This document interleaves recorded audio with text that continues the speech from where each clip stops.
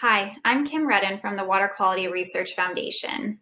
If you're dealing with the impacts of the winter storms and any power outages that have resulted, and you're concerned your water quality may be affected, there are several resources out there that can help you. First, find out if your public water provider has issued any boil water notices or alerts. As we've seen through our foundation's research, there are certain situations, such as a power outage, where your public water provider will issue this as a precaution to protect you.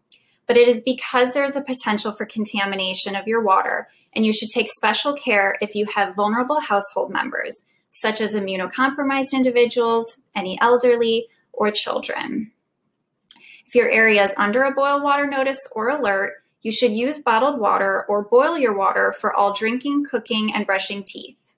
If you don't have bottled water, you can bring your tap water to a rolling boil for one minute and let it cool before use. There are instructions on exactly how to do this on the CDC's website that you can find with a quick Google search.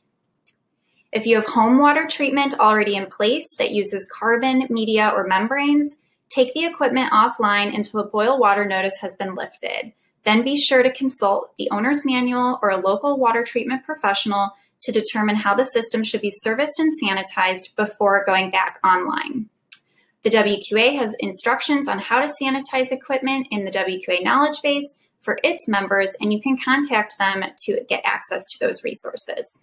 For anyone who has a private well, if you've lost power and you currently have water treatment for health contaminants, then use bottled water if you can until your power is restored. Depending on what contaminants you were treating with that water treatment, boiling your water may not actually be appropriate for your specific water situation. We hope this information was helpful to you and hope for a quick return of power and safety to everyone affected by these winter storms.